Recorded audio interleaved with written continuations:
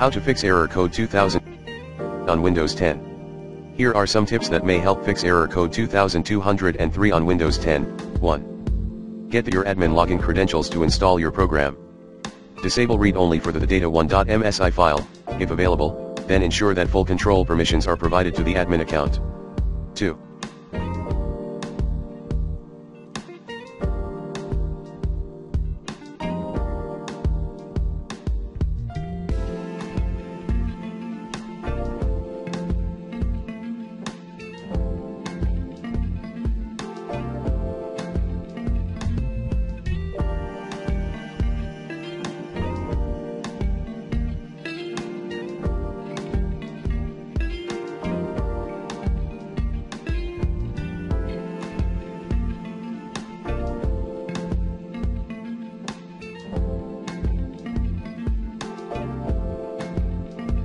You may either have Hyper-V enabled on your Windows 10, if so, disable that option, or you may need to enable virtualization in your BIOS.